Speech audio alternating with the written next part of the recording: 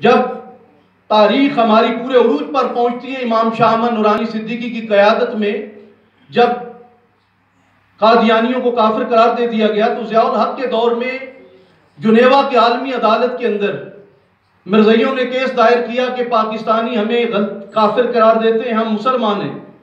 آپ کو یہ سن کر حیرت ہوگی کہ تمام عالم اسلام میں سے ضیاء الحق نے جس شخصیت کا انتخاب کیا مسلمانوں کا مقدمہ لڑنے کے لیے، اس شخصیت کا نام حضرت ضیاء الامت جسٹس پیر محمد کرم شاہ لذری رحمۃ اللہ علیہ تھا۔